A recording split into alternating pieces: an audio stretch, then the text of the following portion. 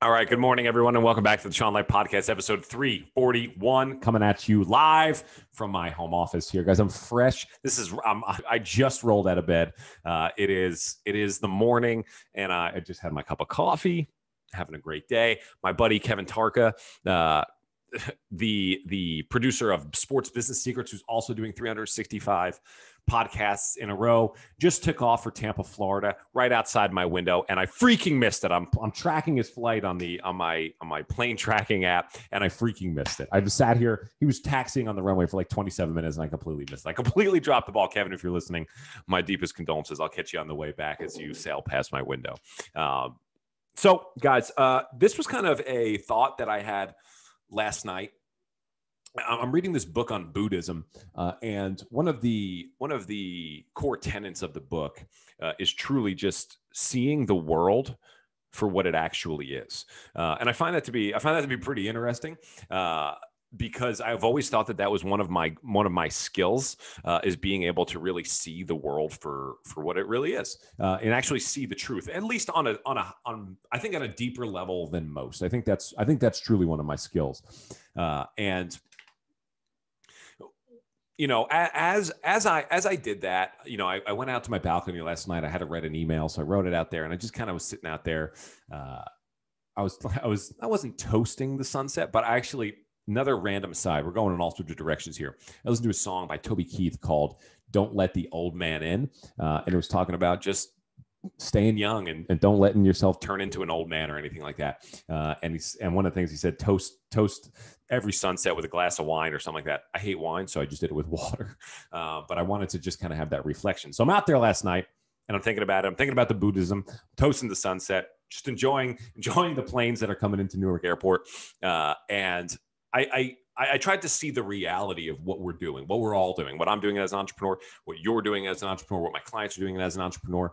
Uh, and we're trying, at the end of the day, uh, what we're trying to do is we're trying to help people.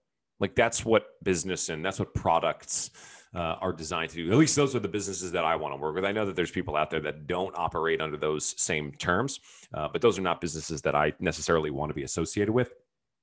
And the when, I'm when I'm thinking about marketing, when I'm thinking about like the truth behind marketing, what you really want to do and the way that you want to structure your business is to be helpful. And I think that there have been many layers that have been tacked on to entrepreneurship and marketing and just business in general that lead you to believe that there are tactics and strategies and things that you must do in order to be successful. Now, there are there are good strategies to capture people's attention. There are good strategies for holding people's attention. There are things that are better than others, no doubt. But at the end of the day, people just want help, and your business should be designed in such a way to deliver that help. Your marketing should be designed in such a way to prove to somebody that you can be helpful. That's really all that you're trying to do. Marketing is trying to capture somebody's attention first and foremost. That's number 1. Can you capture their attention?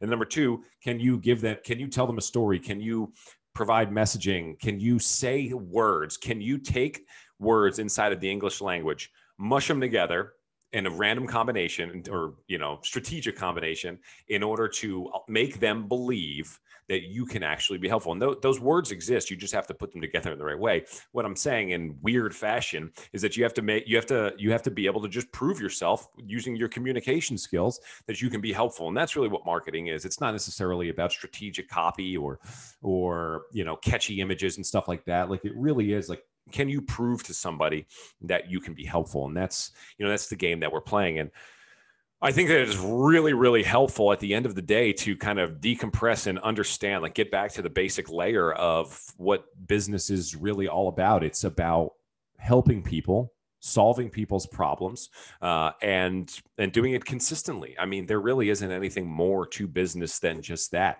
And i believe like through having studied 100 pages of this of this uh, Buddhist book right now, I, I, think that's kind of where they're going with it. Where it's like, look, uh, let's let's not let's not let's not complicate it.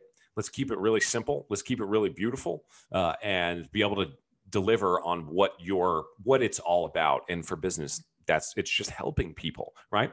So I think the takeaway for this lesson, guys, is to really think about your business. What is the problem that you solve? How are you helping people? Right? And then think about how can you prove to somebody that you can be helpful. Here's an interesting. Here's an interesting. Uh, here's an interesting uh, story from from my from my business. One of our one of our team members uh, was tasked with social media conversations and just engaging with people on social media. Uh, and they were going into the DMs and they were copy and pasting a they were copy and pasting a uh, like a form message into like DMs and just sending it out to a lot of people. And while I appreciate the excitement and the energy and getting out there and the you know getting stuff done, you know what the the the message in itself was inherently spammy uh, it was you know talking about it was saying like hey check out our profile and see if we can help like if i got that message i would be like spam crap like it said like i love what you're doing with your page anytime i get something like that i'm like they're not looking at my page they're just absolutely spamming dms right now and that's not really what we're trying to do just trying to generate conversations and i talk and i and i showed them a I show I went in and screen recorded a conversation that I had where it was just me engaging with somebody, just having a conversation like, hey, how's everything going? Like, tell me about yourself. Wow, okay, you run this business. That's awesome. Is there anything that I can help with? And they're like, you know, I'm just at the point where uh, it's a little challenging and overwhelming. And I'm like, oh my gosh, like I made a video today about about about this. Like, would you like me to send it to you? And they're like, that would be amazing. So I put them on the list get them on the email list and now i have a lead in my in my business and we did it organically we did it nicely we did it like a freaking human being there's one way when you spam people and you and it sounds salesy and stuff like that you're not really considering you're you're you are selfishly marketing you are just trying to make money uh, when when you are trying to help people and having conversations, you are running a business the way that a business is supposed to be run by helping somebody and solving somebody's problems.